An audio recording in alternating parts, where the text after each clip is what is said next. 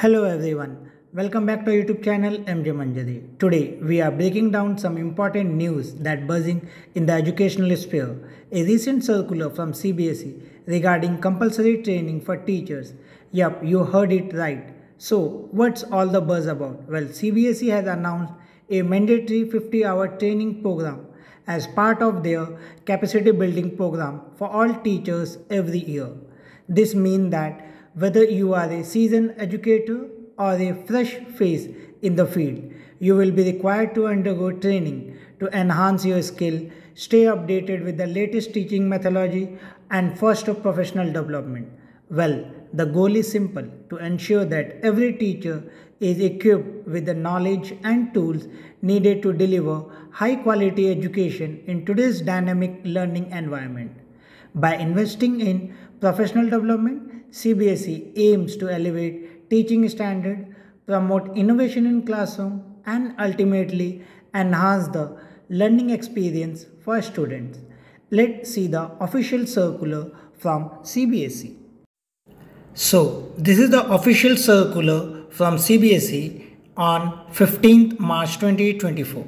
The subject of this circular is participation of teacher in continuous professional development program CPD for minimum 50 hour in every academic year and treating resource person engagement for training purpose on official duty.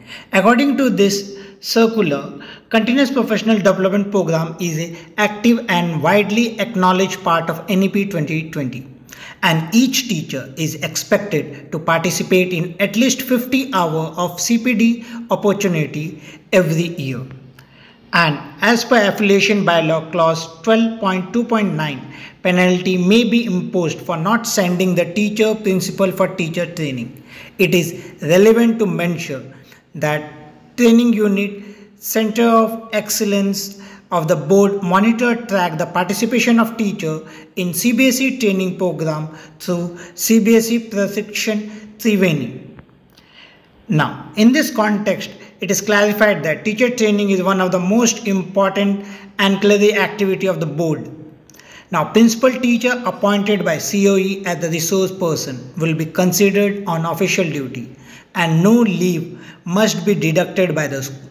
Such on-duty facility may be given to deputed resource person for maximum two CBSE COE program in a calendar month. Similarly, principal teacher should be treated on official duty while attending the training program to complete their 50 hour per year as per NEP clause 5.15 and 5.16.